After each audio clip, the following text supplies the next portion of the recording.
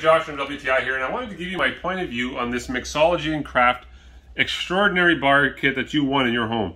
The reason why I love it is because it has absolutely everything you're going to need to make really cool drinks and uh, and to impress your friends, really. They got ice tongs here, right? So let me just show you. Just you don't want to grab people's uh, ice with your fingers. That's nasty. But there you go. You put that in there. They got all sorts of other things. They got the corkscrew, and it, look at this. It's really good quality. Uh, and I love the color, the black color. They've got two. Um, uh, this goes in the top of your alcohol, so you can pour that one shot perfectly. It has a muddler if you're going to do any kind of um, muddling in the, the, mint or anything like that in the bottom of a glass. It has a strainer, a tall spoon, which I like because you're able to get in that glass without, you know, really getting your fingers down in there.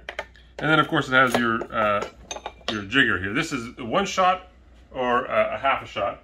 And so whether you're just pouring a simple shot, just to enjoy uh, some rum over ice, or you're making a fancy cocktail, Mixology and Craft is the product that you're to want in your bar. But that's just my point of view.